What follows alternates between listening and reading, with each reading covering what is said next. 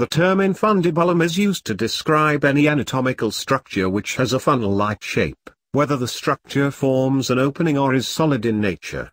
A number of structures can be referred to as infundibular, ranging from structures inside the ears to parts of the kidneys, and including everything from solid bones to funnel-like tubes which are used to move air or fluids around inside the body.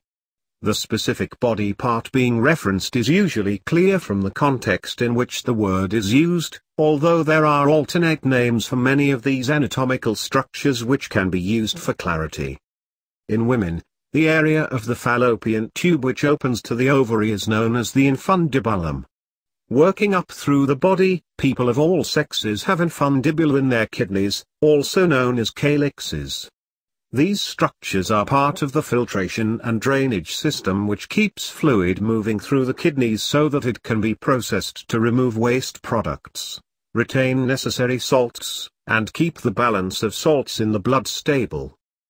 The heart also has an infundibulum, known as the conus arteriosus, which carries outflow away from the right ventricle.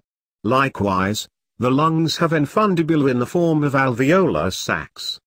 The ear also contains a structure known as the infundibulum, inside the cochlea of the ear, which plays a role in hearing and the processing of sound.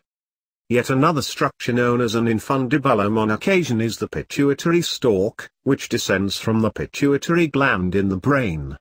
This structure connects the pituitary to the hypothalamus of the brain, and it is involved in the release of hormones produced in the pituitary gland.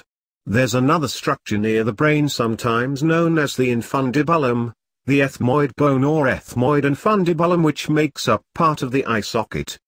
This bone is situated between the brain and the nasal cavity and acts as a barrier between these two areas. The term infundibulum can also be seen in use in a non-medical setting. It is sometimes used in geometry, for example, to describe shapes with a funnel-like appearance and in other settings when people wish to describe something as funnel-like. The adjectival form of this word is infundibular. Incidentally, for any geek readers who suspect that they may have a pressing need to describe something with a funnel-like appearance in the near future,